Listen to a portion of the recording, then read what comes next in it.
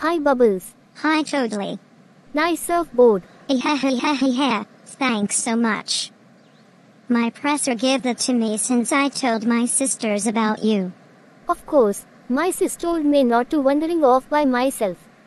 But hey, we're here. Hi, Toadlee.